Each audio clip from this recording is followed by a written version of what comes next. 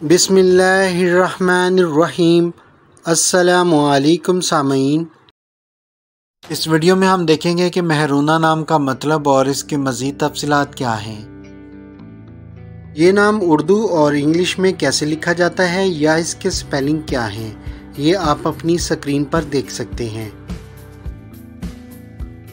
ज़ुबान है अरबी, यानी इस नाम की इब्तदाई तारीख अरबी ज़ुबान से निकलती है।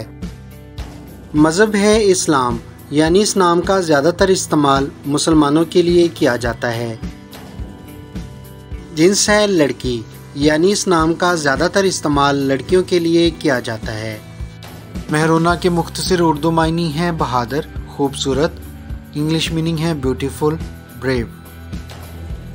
महरूना नाम का मुमकिन तौर पर सबसे ज़्यादा इस्तेमाल जिन ममालिक में किया जाता है, उनमें सरफरिस्त है पाकिस्तान, नंबर दो पर है यूएई और नंबर तीन पर है इंडिया।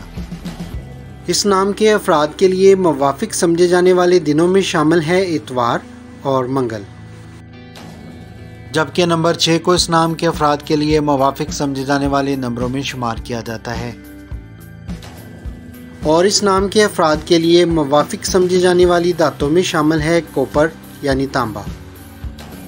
और इस नाम के अफराद के लिए मवाफिक समझे जाने वाले रंगों में शामिल है सुरख, जंगनुमा और हल्का सबस जबकि पखराज नामी पत्थर को इस नाम के अफराद के लिए मवाफिक समझे जाने वाले पत्थरों में शुमार किया जाता है।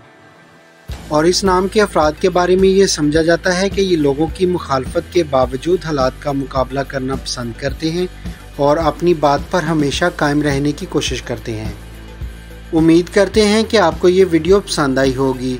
आपसे दरख्वास्त है कि अपने बच्चों के लिए कोई भी नाम फाइनल करने से पहले अपनी इमाम मस्जिद या किसी आलम दीन से मशवरा ज़रूर करें। और इसके साथ साथ आपसे दरख्वास्त करेंगे कि इस वीडियो को लाइक करें और हमारे चैनल को सब्सक्राइब कर लें। मिलते हैं अगली वीडियो में। तब तक के लिए इजाज़त दीजिए। शुक्रिया। अल्लाह हाफिज़।